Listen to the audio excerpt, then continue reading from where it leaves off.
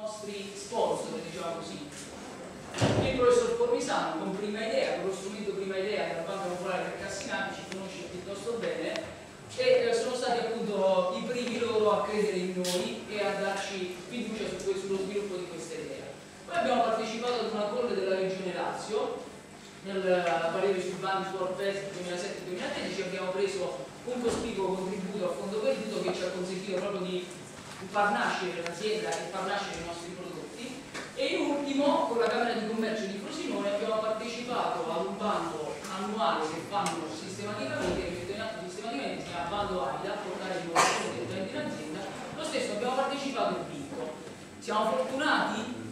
non lo so, siamo più o meno bravi? un pochino sì però quello che conta è che adesso con questi capitali noi cerchiamo di fare quello che ci siamo posti, quindi cerchiamo di perseguire la nostra visione e soprattutto di trovare strumenti di più ampio respiro, come rivolgersi agli strumenti della comunità europea, intraprendere azioni di crowdfunding, rivolgersi a, rivolgerci a fondi di, di, investimento professionali. Quindi tutto questo è quello che serve diciamo, per far partire eh, una startup, detto in maniera molto breve stare in Passo la parola ai miei Grazie.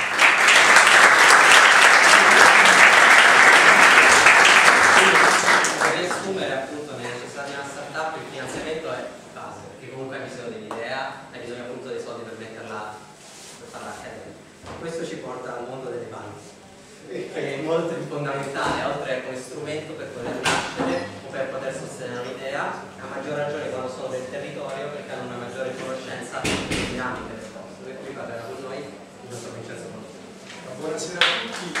Io eh, ho filmato due minuti, ma per essermi cinque minuti presentarvi ciò che in qualche modo non avrebbe nemmeno bisogno di presentazione perché Alessia ha già fatto pubblicità. Eh, di solito quando si partecipa eh, a questi eventi ognuno di noi viene a dire qualcosa che fa. Noi come Banca Popolare del Cassinate oggi veniamo a divulgare in qualcosa che abbiamo già fatto e funziona ormai da tempo. Cioè che cosa abbiamo cercato di mettere insieme? Intanto sfatare quelli che sono i luoghi comuni riferiti alle banche, che le banche non danno i soldi, che non finanziano le idee, che danno i soldi a chi non ne ha bisogno, che purtroppo molto spesso è. Allora abbiamo preso queste, questi tre luoghi comuni e abbiamo detto diamo un segnale che probabilmente si può anche cambiare, si può fare qualcosa di diverso e cioè mettere a disposizione di giovani eh, che vogliono diventare imprenditori delle somme,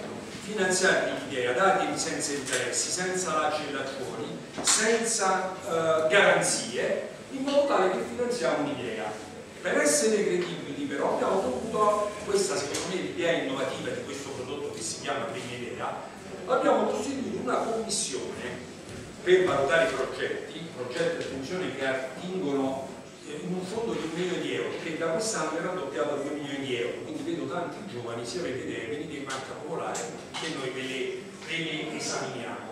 Ma a proposito di chi le esamina, per essere credibili, abbiamo eh, costruito una commissione che valutasse i progetti, diversa dalla, eh, dalla commissione bancaria che di solito valuta i progetti e, e i bilanci per gli affidamenti e le concessioni del credito, proprio per uscire dalla logica bancaria del quantitativo, del bilancio, della garanzia. Quindi abbiamo costruito una commissione formata da due accademici, ovviamente non sottoscritto, eh, nella fattispecie figure istituzionali, il rettore e il direttore del dipartimento, e due rappresentanti dei giovani imprenditori, il presidente dell'industria giovani, oggi abbiamo qui il neo presidente, l'ingegnere Sauriti, e il presidente di, dei giovani di Federlascio. Quindi quattro componenti diversi dal mondo bancario che valutando i progetti in maniera effettivamente creativa, vedendo l'idea interagendo con i ragazzi, hanno selezionato e hanno finanziato, dato ok al finanziamento di questi progetti. Qual è il risultato? Sono i 5 minuti che poi abbiamo estimato. Il risultato è stato che ad oggi abbiamo finanziato 20 progetti la cosa più bella dal punto di vista bancario che sono tutti regola comunitaria di avvocati quindi qui emerge sempre eh, l'animus della banca quindi stanno restituendo i soldi senza interesse a 10 anni 50.000 euro ma la cosa invece più importante è che queste aziende stanno, stanno sul mercato hanno creato occupazione hanno creato la possibilità dei giovani di incominciare a fare impresa, perché noi siamo qui in una facoltà di economia dove io oltretutto insegno materie aziendali e quello che noi dobbiamo capire è che l'unico sbocco nostro non è solamente quello di essere dipendenti di un'azienda, ma può essere anche quella di diventare noi stessi imprenditori e matchare la formazione e anche le risorse finanziarie che possono rendere un'idea fattibile, secondo me quanto di più bello si possa fare. In questo c'è una piccola eh, coincidenza fortunata, e cioè il fatto che io sia da un lato professore e sia anche immediatamente vicepresidente di una, di una banca locale, quindi questo mi consente di giocare questo doppio ruolo, questa volta a differenza degli altri conflitti di interessi, per il bene invece di un'idea che penso abbia un suo fondamento e anche un successo per i giovani, come la nostra Alessia testimonia. Io ho chiuso qui, ma andiamo, dove sono i ragazzi? Eccoci qua. A proposito di start-up, un'altra start-up che vogliamo aiutare, che sono i ragazzi, come li chiamate? I benissimo sono bravissimi, hanno fatto un filmato molto bello, qui non ci sono nel filmato, quindi siete a posto, c'è il filmato che, che pubblicizza il nostro prodotto. Prego? Eh certo, dai ragazzi, il marketing lo insegniamo e lo pratichiamo.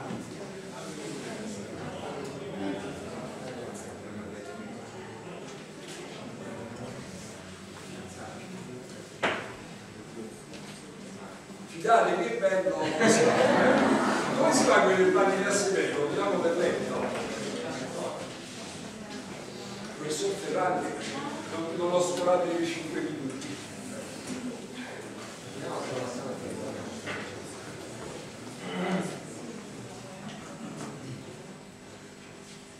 Oh, nel frattempo faccio come un po' Paolo, abbiamo il muro. Per le informazioni, ovviamente abbiamo i nostri desk, abbiamo un potete raccogliere le informazioni o venire nei nostri sportelli bancari. Siamo a disposizione anche perché il bando è a sportello, quindi non c'è una scadenza. Presentate le domande quando volete.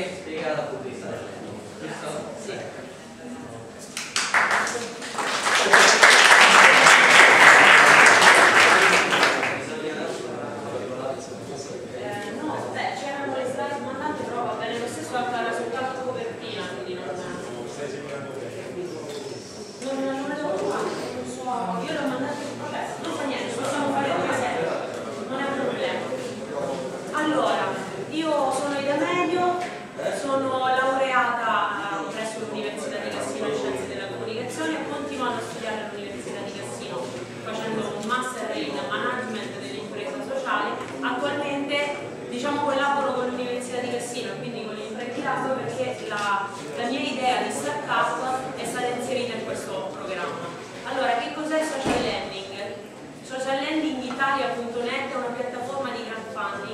basata sul prestito sociale, quindi ci occupiamo di lending crowdfunding che, okay, che offre, ehm, che offre un'opportunità a giovani, in questo caso NIT, quindi parliamo di giovani inseriti in un, in, un, in un ambito che viene chiamato ad esclusione sociale, quasi esclusione sociale, e giovani immigrati di seconda generazione, quindi gli offre l'opportunità di ricevere delle, eh, chiamiamoli dei microprestiti direttamente da individui. La logica è un individuo presta a un altro individuo.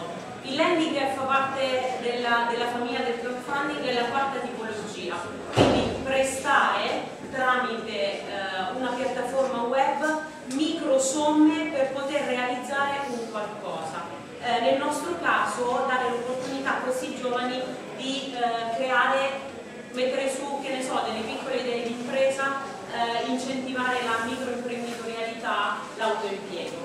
Qual è il problema? Il problema che noi abbiamo notato, cioè che ho studiato e che eh, mi ha spinto a creare un'idea o a portare avanti un'idea del genere è quello che eh, c'è difficoltà di accesso al credito, l'hanno detto i relatori prima di me, cioè andare in banca per un giovane chiedere un piccolo prestito è impossibile, non ve lo danno.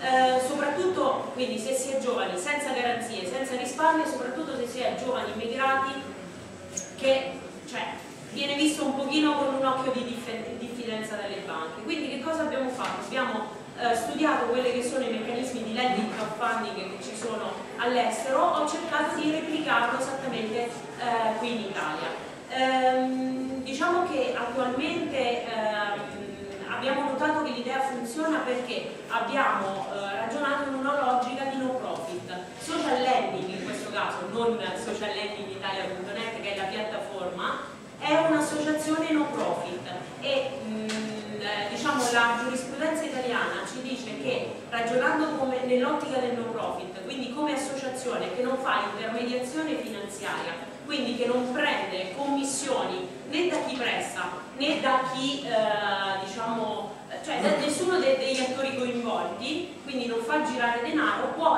mh, tramite un meccanismo di social network, quindi incontro tra la domanda e l'offerta, può dar vita a un meccanismo di questo genere, a un discorso di crowdfunding questo genere, di questo genere. A differenza delle due realtà di lending presenti in Italia che comunque, anche se rientrano nella categoria del crowdfunding eh, del prestito sociale, sono degli istituti di pagamento, cioè sono del, eh, delle, delle realtà bancarie in definitiva.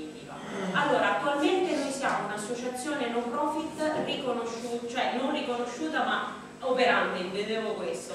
Eh, stiamo ragionando in termini, dovevamo partire sul territorio, in definitiva ci siamo allargati un pochino al territorio nazionale. Io stesso ho provato che cos'è il crowdfunding partecipando a una call di Telecom Italia. Eh, siamo andati in gol recentemente, una settimana fa, abbiamo eh, fatto questa campagna di raccolta fondi, Telecom ha investito su di noi, abbiamo avuto i primi finanziamenti, superando l'obiettivo abbiamo raggiunto il 133% di raccolta, quindi crediamo molto, credo moltissimo nel meccanismo del crowdfunding.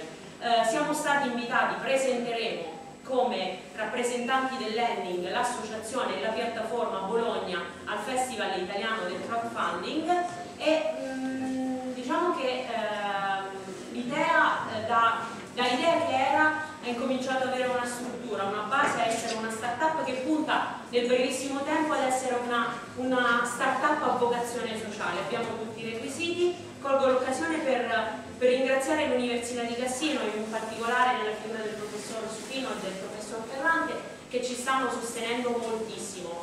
Eh, social lending era un'idea di, di tesi, è diventata una startup sociale, non posso permettere di dirlo, no? E quindi ecco, crederci, meccanismi, cioè se ben studiati, meccanismi alternativi a quelli che noi conosciamo funzionano.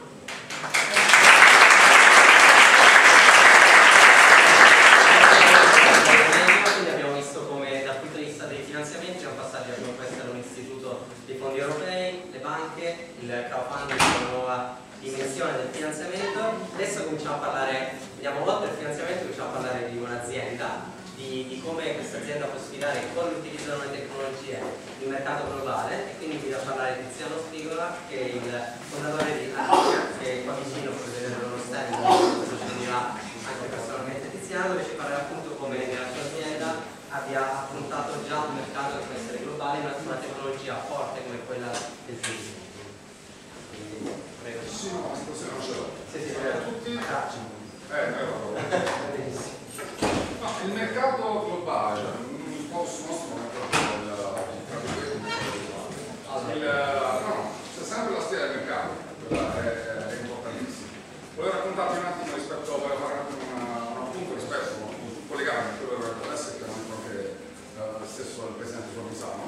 Noi nasciamo come una startup circa due anni e mezzo fa.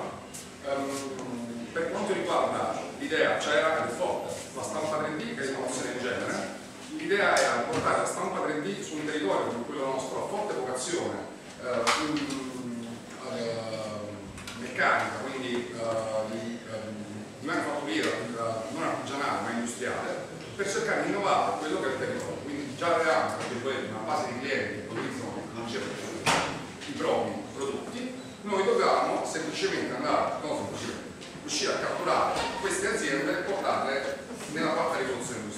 Questo qua era il nostro focus e il nostro obiettivo. Ovviamente poi proporendoci a tutto il mondo eh, con, con, i nostri prodotti, questo ovviamente è l'obiettivo macro. Però la, um, come focus iniziale abbiamo proprio quello di andare a queste uh, aziende territoriali quel territorio, le province di Frosinone, Caserta, Latina, uh, L'Aquila, insomma, tutto il territorio circostante. per quanto riguarda dicevo, quello che diceva Alessia, noi abbiamo tra virgolette fallito primo appunto contro la prima avventura come startup. La nostra azienda è stata rifondata perché il team era sbagliato. Abbiamo sbagliato il team e uh, se da una parte c'era persone, c'erano persone che lavoravano, dall'altra parte c'erano persone che non facevano niente. Questo qua è un qualcosa che capita molto spesso all'interno delle startup. Una startup su 10 arriva, 9 su 10 falliscono. Quelle che falliscono se ci riprovano ci riescono. Questo è una cosa importante perché il fallimento è l'inizio effettivamente della la startup. Dal fallimento si deve imparare. Noi da lì abbiamo imparato, abbiamo incontrato e abbiamo inserito all'interno della, della, nostra azienda, quindi siamo andati a costruire l'azienda partendo da quello che erano le idee e le, le, nostre capacità, la nostra conoscenza da quello che abbiamo realizzato. E uh, abbiamo, inserire, abbiamo, inserito un nuovo socio che ha portato i fatti capitali, ma soprattutto ha portato il suo know-how dal punto di vista dell'organizzazione aziendale, un imprenditore di circa 25 anni, un imprenditore classico che lavora anche su web, ha piattaforme su web che facciano svariati milioni di euro l'anno, anche franchising, quindi lui ha preso la nostra buona idea, è diventato partecipe, ma non ha messo soldi, è diventato un protagonista interno in tutto il suo team, sia dal punto di vista amministrativo, ma anche dal punto di vista della comunicazione, della vendita, quindi le sue capacità di portare all'interno del, del, nostro team. E siamo, siamo tra virgolette ripartiti da zero, da quello di buono che avevamo quindi i nostri prodotti e il modo di vendere i nostri prodotti nel senso, il problema grosso della stampa 3D è qualcosa che tutti quanti dicono nel futuro, ma la stampa 3D è presente, non è il futuro, la tecnologia c'è. Il problema è farlo capire e farlo incontrare la gente. Per ehm, educare e formare un territorio come quello nostro, quindi a forte uh, vocazione, uh, sì, ok, c'è l'università, abbiamo tantissime bellissime realtà, però la realtà dei fatti che troviamo anche l'ignoranza, concedetelo, anche negli stessi imprenditori, e nella stessa gente. Quindi la cosa importante per noi è andare a formare, andare a innovare eh, le, scuole e il sistema formativo, utilizzando, andando a inserirci all'interno delle scuole con i nostri modelli, tra virgolette, innovativi di studio. Siamo andati in tutte le scuole, siamo andati in tutte le scuole della provincia, per quest'anno, l'anno prossimo ce l'abbiamo nella provincia che avevo detto in precedenza, creando un rapporto diretto con la scuola. Le scuole fanno dei corsi con noi, a fare dei workshop, workshop che partiamo dai bambini dalla quarta elementare, quindi i bambini cominciano a capire che cos'è la tecnologia, stanno facendo dei corsi di disegno 3D, quindi questi bambini che in terza media avranno la capacità non di disegnarsi giocattoli e di realizzare giocattoli, ma di realizzare cose che io sono solo soltanto di vederle e eh, sarà un'avventura fantastica vedere questi oggetti realizzati. E con gli studi tecnici industriali stiamo cercando di addirittura um, di far realizzare a loro i macchinari stessi. Far realizzare a loro i macchinari stessi quindi ragazzi sentono protagonisti nell'avventura imprenditoriale la fabbrica distribuita abbiamo idea di fabbrica distribuita quindi i ragazzi fanno un'esperienza assemblata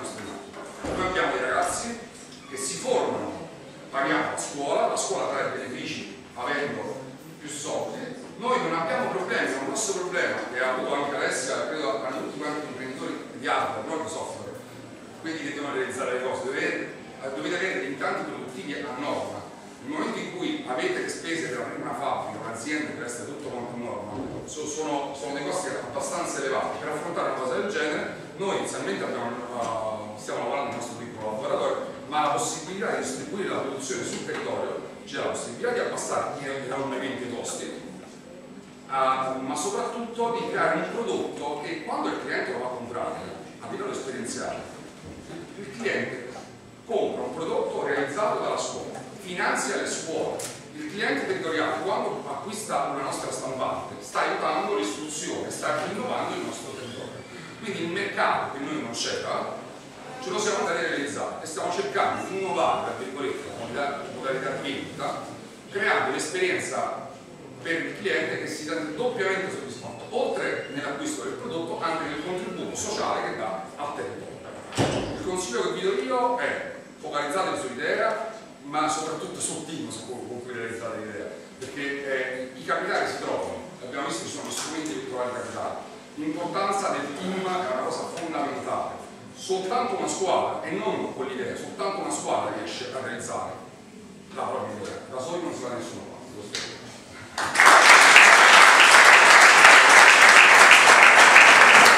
Quindi, scusami, eh, adesso si considera un altro ingrediente, questa è la ricetta per fare l'impresa, si parte l'idea capitale e le persone, quindi il capitale umano.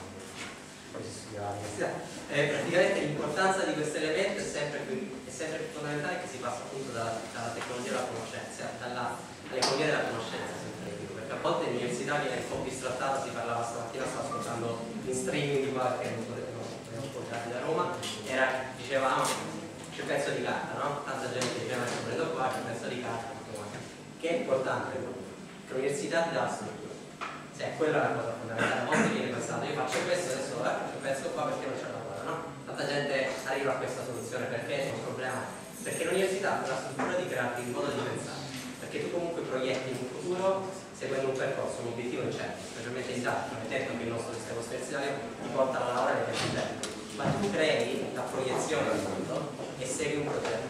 Quando fai un, pro- un prodotto, e io sono la, la mia io sono nella- nell'arte di creazione, non sono una startup puramente di software. Tu pensi a due anni almeno, perché sono due anni per creare un prodotto, per fare gli stampi, per strutturare tutto quanto, per la rete di vendita, quindi devi già pensare adesso a cosa sarà tra due anni sul mercato.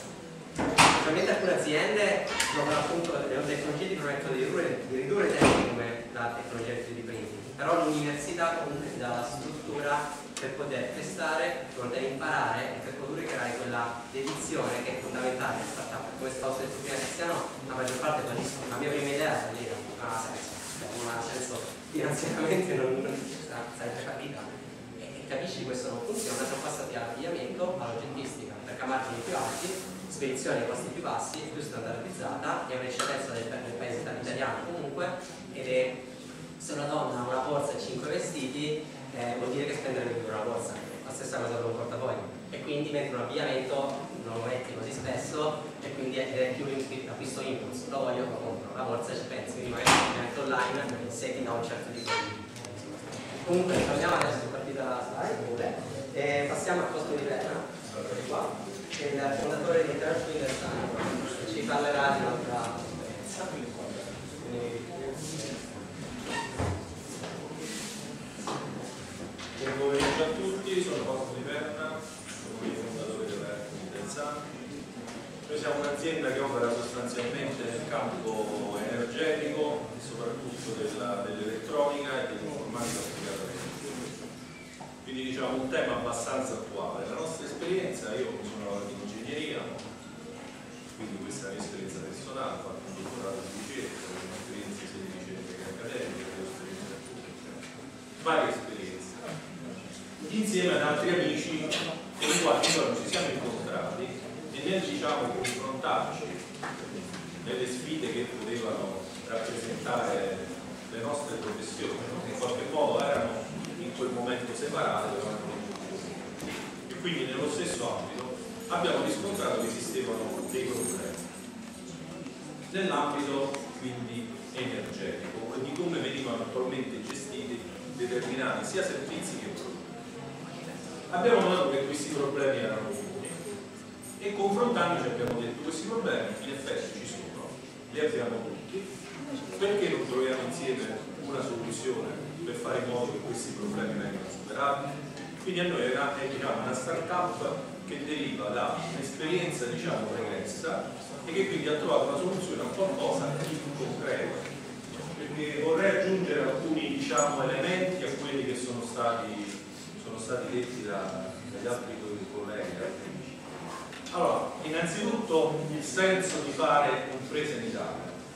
Il senso di fare impresa in Italia è effettivamente una domanda, diciamo, eh, diciamo da un milione di dollari, forse anche di 10. Per tutta una serie di, di questioni per le quali io, anche per motivi di tempo, chiaramente non, ma sicuramente il problema dell'accesso al credito che c'è, soprattutto per le imprese, diciamo, non solo giovani, ma fatte da persone giovani.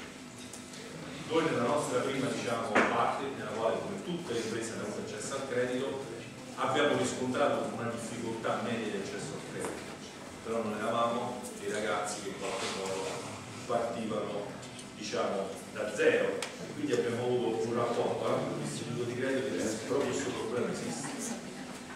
Esiste tutto il grosso problema fiscale e burocratico. Allora il discorso qual è? Rimarcare bene una differenza. Oggi con il termine startup in generale, ma questo vale comunque, significa un'impresa che fa, no? In realtà esiste poi in questo segmento tutto un tipo di imprese orientate verso l'innovazione che sono le start-up innovative. Quindi questo diciamo, eh, aggettivo che non è stato secondo me ben diciamo, eh, valorizzato. Allora, esiste la possibilità di fare impresa classica che ha delle difficoltà, dà delle occasioni e dà sicuramente delle conseguenze e forse dà anche però delle certezze. Esiste invece la possibilità di fare nuove imprese in ambito innovativo. E ci sono tutta una serie di caratteristiche neanche tanto stringenti ma sostanzialmente giuste che permettono di fare invece delle start-up innovative, ossia delle start-up che abbiano delle caratteristiche nelle persone che lavorano e abbiano soprattutto una vocazione orientata verso l'innovazione. Quindi noi quello che facemmo a questo tempo fu proprio quello di fare una start-up. Però la buona notizia è questa, che per scelte sicuramente politiche dettate forse non da una particolare diciamo, eh, visione illuminata ma da una concretezza. Oggi chiunque va a vedere i dati economici, molti lo possono diciamo, insegnare, vede per esempio l'aumento della produttività che è praticamente correlato linearmente, va passo con il grado di innovazione delle imprese, come dato macroeconomico riferito alle azioni. I discorsi legati alla competitività e al valore aggiunto delle imprese non altro contributo tutte queste belle cose più altre hanno portato sì che il legislatore ha però creato degli strumenti che permettono di fare imprese innovative in maniera diversa da fare un'impresa classica in cui ok tu non avrai le certezze dell'impresa classica perché normalmente l'impresa innovativa è caratterizzata da un rischio maggiore in tutti i sensi però ti do tutta una serie di caratteristiche ed è sicuro che queste caratteristiche in parte dal punto di vista fiscale, molto dal punto di vista burocratico, specialmente in cui in cui la cosa si sta permettono oggi, fortunatamente, di poter fare un'impresa in una maniera molto più semplice, purché quell'impresa sia innovativa. E quindi diciamo orientare verso l'innovazione nel nel momento in cui uno ha questa vocazione. È una cosa che oggi in Italia non è diverso da altri paesi europei sicuramente permangono, diciamo, possono permanere i problemi legati alle infrastrutture, legati ad altri tipi di discorsi, però il discorso qual è? Nel momento in cui, oggi sentivo anche alla, alla no? Cioè, nel momento in cui uno decide fare un discorso legato all'innovazione, automaticamente sta in una dimensione di mercato globale. Quindi non esiste Cassino, non esiste la Francesco Sicuro, non ce Si apre un mercato globale e quindi è vero che ci troviamo ad operare in questo territorio, ma in realtà ci troviamo ad operare in tutto il mondo. Quindi noi fondammo diciamo, questa, questa caratteristica e abbiamo avuto sicuramente la fortuna, ma parte sicuramente anche la bravura di essere immediatamente finanziati attraverso degli strumenti che mette a disposizione l'Unione Europea, in quel caso insieme alle regioni. Quindi sappiate che nel Lazio sicuramente, in Campania ancora di più, del territorio che ha diciamo, inquadrato direttamente l'ambito europeo, è possibile pure le imprese economiche ottenere dei fondi dati dalle regioni, che però in realtà sono finanziate da fondi europei, che vi coprono una buona parte dei costi, cioè vi permettono veramente di fare lo startup. Perché lo startup significa le persone che ci lavorano, gli attrezzatori, cioè lo startup non è una parola buona, è una parola che poi significa soldi da investire. In questo ambito noi abbiamo quindi trovato una soluzione, quindi anche noi facciamo dei servizi ma abbiamo fatto dei prodotti. E grazie a questo finanziamento di cui avevamo l'idea di fare un prodotto, in realtà poi siamo, diciamo, è uscito nel lavorare, eh, questa è l'informazione, sono usciti diciamo tre prodotti diversi. E quindi siamo, ci siamo trovati a cimentarci e quindi da fare quella che era, poteva essere un'esperienza transitoria o aggiunta rispetto alla nostra posizione, di fatto a lavorare praticamente quasi tutti, adesso lavoriamo con l'azienda. In questo ambito è molto importante che eh, la mentalità di queste sfide sia una mentalità globale, perché in questo ambito voi troverete il mercato. Noi per esempio, guardate, nell'ultimo anno non è che abbiamo avuto grossi, diciamo, eh, abbiamo sicuramente fatto, fatto delle attività di marketing, ma non è che abbiamo investito grossi soldi, questi sono i contatti, tesi come numero di mail, telefonate, eccetera, a seconda più e più, più c'è l'intensità che abbiamo avuto, diciamo, per legare al nostro prodotto e ai nostri servizi. Se vedete, tranne una parte bianca, insomma, è un territorio piuttosto problematico, ci siamo trovati di fronte ad avere dimensione. Quindi io ritengo veramente, diciamo, dobbiamo essere nell'ambito soprattutto del discorso di fare scegli da qualsiasi discorso legato alla eh, territorialità, ossia l'impresa nasce nel territorio e lo fa crescere, però la sfida viene dopo.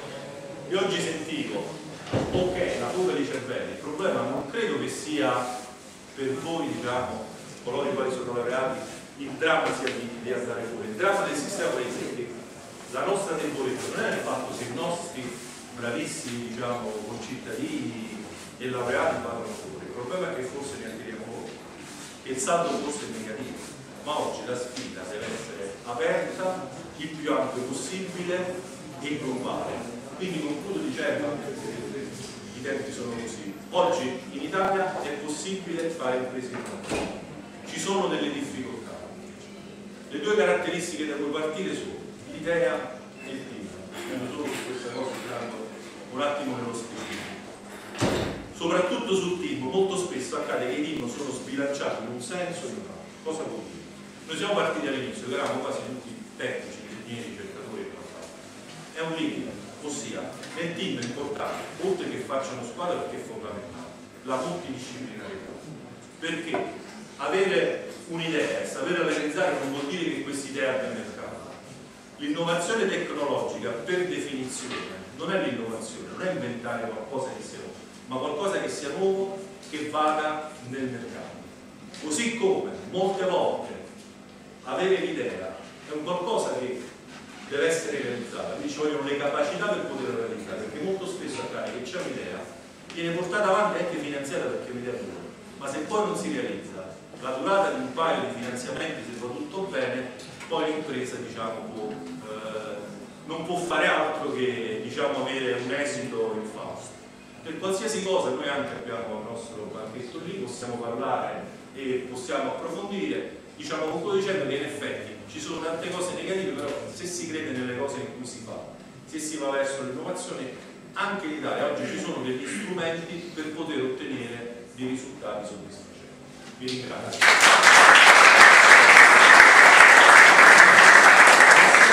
Andiamo a concludere un messaggio di speranza sul paese che è vero, perché comunque se in Italia è uno degli ricchi al mondo. Questa cioè, alla fine uno può dire statistiche, una delle, una delle prime potenze industriali, quindi comunque se chi è nato chi si è trasferito qui ha la possibilità di avere accesso a delle strutture che altri paesi non ci sono, e lo dice chi ha vissuto tanto all'estero. A volte noi diamo per scontato cose che su 186 paesi al mondo tu sei 30 famiglie. Infatti le proporzioni è come se tu in delle amici. Non è male.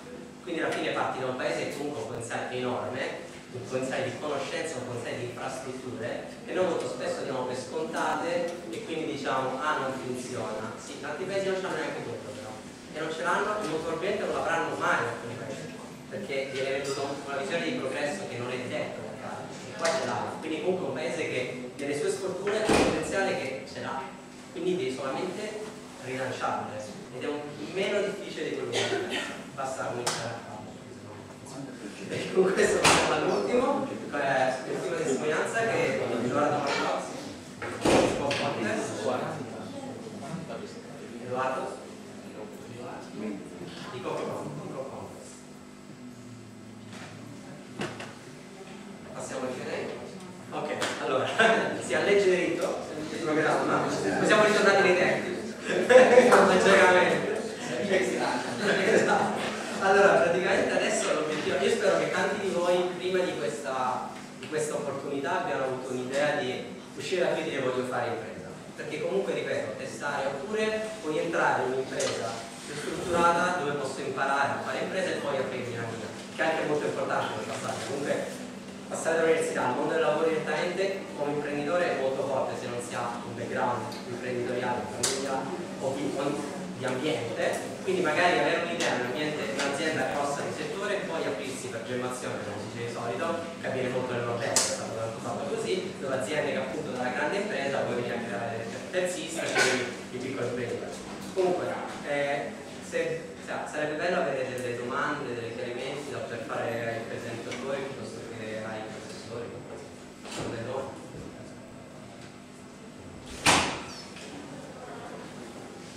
Sicure, io, delle domande? Che consiglieresti a un ragazzo iniziare su una startup o andare come una... Ottima domanda! L'aspettavi? Eh no, però era presente, non aspettavo mai però. Allora, eh, però che avete domande veramente fate, perché questo è un momento veramente siamo qui per non per cantarci. Allora, la mia, innanzitutto il mio percorso è stato prima di lavorare in un'azienda, nel Red Bull, poi Procter, poi aprire la mia prima azienda e come ti dicevo è andata male, e poi evolverla, poi tornare a lavorare in azienda in Cina e poi aprirmi la, quella che adesso che invece sta andando come si vuole. Avere la possibilità, non vedere l'università solamente come titolo di studio ma come momento di sperimentazione di vita. Cioè, quello che vi ho detto stamattina dal professor Ferrante, che sia veramente imprenditori di te stessi, è vero, perché comunque questi anni devono essere, essere sfruttati per testare le varie possibilità, andare all'estero per studiare, lavorare, con l'idea magari di tornare, perché comunque quello è il vantaggio, perché se vai fuori quando vedi uno straniero in Italia vedi le difficoltà che ha, non pensare che tu fuori non le hai, eh? indipendentemente dal fatto che tu sei italiano, francese o, de, o polacco di due paesi che stanno entrando in sono entrati in Europea. Hai le stesse difficoltà, però quando hai una nozione da fuori e la porti dentro, un vantaggio più, è quello che gli altri non hanno qua, però un background comune, quindi è quello che hanno loro più un po' come sarebbe lui, fondamentalmente che a casa essere bilingue per tutti. E quello è il punto, quindi avere fatto un percorso con questo si va e non spaventarsi, perché ragazzi alla fine non ci succede niente, se va male va male, mamma mia, un po' come quando ci provi con qualcosa funziona e ritrovo. Sono per altri sintomi. Comunque se quello senza quello ci riprovi, ci allora, eh, altre domande? È possibile Kickstarter è una cosa bellissima perché se tu praticamente c'è ancora più semplice che però pensiamoci in su Kickstarter, metti il tuo progetto, ti strutturano come farlo, come viene fatto video per spiegarlo e tutto quanto, tu mandi in filo, ma devi collegare una carta di credito vera, non una postpay, carta di credito, carta di credito, non necessariamente intestata a te, però ci deve essere una carta di credito. E perché così i pagamenti passano tramite la carta di credito. E dopodiché eh, loro semplicemente fa il progetto, lo metti giù, se la persona mette i soldi eh, e superi il livello, ti accreditano i soldi meno le percentuali, che sono circa l'8% del costo totale. Il vantaggio è che non si pagano tasse, perché non è una vendita, quindi non c'è un grande vantaggio. E per cominciare. Ed è semplicissimo, se a volte la gente ma come si fa? Ripeto, basta che sia il vantaggio che abbiamo che basta come si può fare questo è ottimo per testare un'idea, l'unica cosa rispetto a Indiegogo, che è un'altra grande piattaforma per i prodotti, è che Kickstarter ci dà il prodotto, mentre Indiegogo puoi finanziare l'idea. Quindi un po' la differenza è questa, poi almeno c'hai all or no, quindi praticamente su Kickstarter Kickstarter ti mettono un risultato, un obiettivo che speri di raggiungere, in quel caso ti verrà finanziato. Allora vai sotto, lo metti. Però all'inizio metti un tempo per provare, pure là puoi normale, però pensa se tu hai un'idea, la puoi finanziare su la puoi prototipare tramite 3D printer piuttosto che altri, altri strumenti, Upwork, che sono dei piattaforme o freelance.com, quindi puoi fare persone in altre parti del mondo che ti fanno quello che devi fare, lo metti su Kickstarter, lo finanzi e hai fatto. Cioè, hai fatto impresa. Ecco, l'ottimo domanda, un'ottima, perché questo è fare impresa. Cioè, se ti apri un negozio su eBay, costa zero, è fare impresa. Cioè, non è pensiamo forse a stabilimenti, gente, orari. Cioè, se tu apri un negozio su eBay o su Amazon, hai fatto un insieme. Cioè, quello è. Non è niente di. è molto più facile adesso di un tempo che apri un negozio. Quindi è molto più semplice. Può andare. Ammesso che la persona Sì, si può provare. nel senso è meglio magari ehm, andare a reclutare l'amico di sempre in modo che in modo che abbiamo la fiducia oppure trovare con se uno con Allora, eh, di solito vi posso dare la mia esperienza personale, cioè vedendo allora, con l'amico e con la, tra amici si lavora bene, però un po' come lavorare appunto con come del Paolo Fidanzato. C'è un problema di amicizia. Cioè a volte in qualunque azienda c'è un trust. Cioè, possiamo, possiamo fare la cosa, siamo tutti uguali, però c'è di essere una persona ultima che prende le decisioni. La difficoltà è che quando fai con l'amico, un gruppo di amici che tendono a scontrarsi, no? Perché un po' ciò che con l'amicizia può essere L'esperienza Ah, di esatto. che dicevo prima, che lo fanno gli amici. Quindi sono andare a reclutare le persone in base al curriculum, anche piccolo, l'esperienza che abbiamo loro, per amicizia. Volevamo fare una cosa per amicizia. Quindi è stata fallimentare da quel punto di vista, perché o loro avevano altri obiettivi rispetto ai miei, loro avevano altre, poi quando ti dedica un'idea, ci devi dedicare al 100%, quella è una cosa importantissima. E quindi con la confidenza, l'amicizia, il rapporto stesso che tu hai con l'amico, con cui litigare perché ci sei amico, magari ti pure compare di nozze e quindi ti trovi in difficoltà da quel punto di vista. La verità è che il salto l'ho fatto io è perché la persona che abbiamo incontrato l'abbiamo scelta fra bare, ma non era un amico, io l'ho conosciuto in questo contesto, ho valutato, io come lui ha valutato me, e a quel punto ci siamo incontrati e abbiamo fatto un credito. Io personalmente in questo momento stiamo valutando altri ingressi dal punto di vista ingegneristico, perché vogliamo fare macchine grosse, vogliamo realizzare stampanti enormi per realizzare 3 metri per 3 metri, per realizzare la personalizzazione delle automobili. Ma lì io non vado a cercare il mio amico ingegnere, vado a valutare in base agli skill di altre aziende, di persone, quello che sanno fare lì, vado a cercare la persona ideale. L'amico va bene, però deve essere bravo. Non è l'amicizia, tu non vai a cercare l'amico perché è amico, ma perché è bravo, è competente e soprattutto ha voglia di realizzare l'idea. No, assolutamente, perché quello è il discorso, l'amicizia alla fine è lavoro, cioè si può chiamare startup, si chiamare impresa, è lavoro.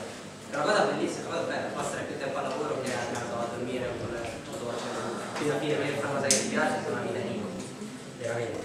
E non ha senso, per cui alla fine giustamente lo ringraziamo, devi prendere però cominciare con qualcuno che abbia il tuo stesso sogno, perché sennò non fa. Risponde alla domanda? Altre domande?